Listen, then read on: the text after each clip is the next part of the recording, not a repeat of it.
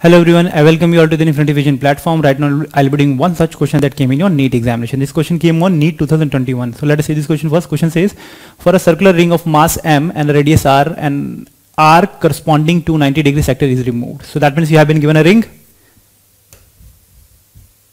So you have been given this ring whose mass is m and radius is r. Okay.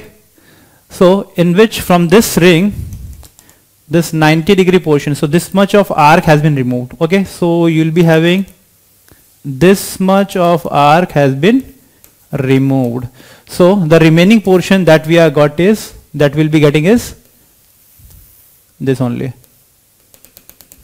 Okay where r is the radius.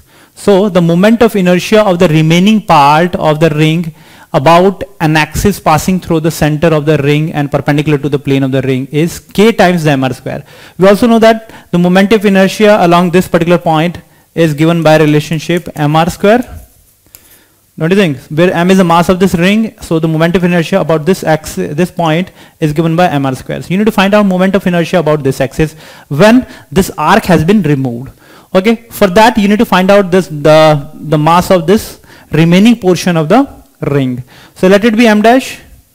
Okay, we know that this whole uh, this we know that this uh, this is nothing but three fourth of total circumference. Don't you think? So the mass should also be this m dash must be equal to three fourth of total mass because the total mass of this ring is m and this is nothing but a three three fourth portion of this ring. So the mass should also be three fourth of m because there is since it is a uniform distribution of mass.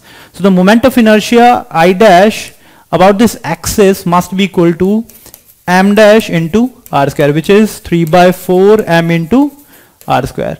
Okay. It says it is k times of mr square. So that means k comes out to be 3 by 4. So the, our final answer that we are getting is first option which is 3 by 4.